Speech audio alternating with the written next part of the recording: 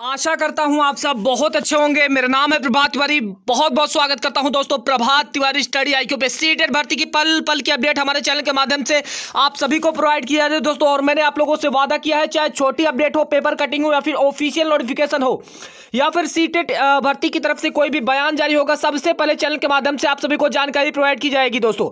आप लोगों ने दोस्तों परेशान के रख दिया दोस्तों एक पेपर कटिंग को लेकर, और आप लोगों को एकदम से तहलका समझ गया, क्योंकि आप लोगों ने दोस्तों बहुत ज़्यादा कॉल्स किए कि, सर सीटेट भर्ती का परीक्षा का परिणाम क्या आज जारी होने वाला है? क्योंकि बहुत तेज़ी से दोस्तों, एक पेपर कटिंग वायरल हो रही है आपकी परीक्षा परिणाम को लेकर। इस परीक्षा पेपर कटिंग के बारे में चर्चा करेंगे दोस्तों। उससे पहले रिक्वेस्ट करना चाहता हूँ कि अगर आप लोग चैनल पे नए विज़िट कर रहे हैं प्लीज़ चैनल को सब्सक्राइब करेंगे।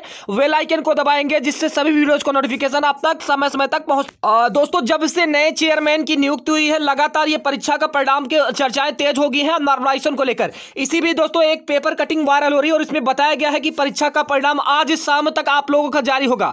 तो दोस्तों, सबसे पहले मैं इस पेपर कटिंग के बारे में बताना चाहता हूँ। दोस्तों, ये पेपर कटिंग जो आप लोगों के द्वारा भेजी जा रही है, जो वायरल कराई जा रही है, दोस्तों, ये पेपर कटिंग किसी भी आपको पेपर में देखने को नहीं मिलेगी। चाहे आप हिंदुस्तान टाइम्स की पेपर में देखिए फिर अमर उजाला के पेपर में देखिए, दोस्तों, इस तरह की कोई भी पेपर में आपको न्यूज़ नहीं मिलेगी। अब बात आ जाती है, दोस्तों, की यह पेपर कटिंग अगर फेक है तो क्या आप लोग का परिणाम, दोस्तों, आज जारी होगा? तो दोस्तों, सबसे पहले मैं ये कंफर्म कर देना चाहता हूँ, इस पेपर कटिंग पर विश्वास मत रखिए। हाँ परिणाम दोस्तों, अगर जिन लोगों का कहना है कि सर आज संडे है तो मैं आपको प्रूफ भी दिखा दूँगा दोस्तों। बहुत सारे टीजीटी पीजीटी और बहुत सारी भर्तियों का परिणाम संडे को जारी हुआ है। ऐसा नहीं कि संडे है दोस्तों, कुछ जारी नहीं हो सकता। अगर परिणाम जारी होना होगा दोस्तों, आज भी जारी हो सकता है, ठीक है? लेकिन यह पेपर कटिंग फेक है। लेकिन एक बात और आप लोगों को बता देना चाहता हूँ, आने वाले एक से दो दिनों के अंदर दोस्तों, आपका हंड्रेड परिणाम घोषित हो जाएगा, क्योंकि सारी तैयारियाँ पूरी हो चुकी हैं और परिणाम की आने की बस देरी है। और यहाँ पर एक बात और बताना चाहता हूँ जो नए चेयरमैन है, इनकी दोस्तों नार्मलाइजेशन को लेकर बहुत ज़्यादा संतुष्टि बनी है तो नार्मलाइजेशन भी आपका होकर ही आएगा।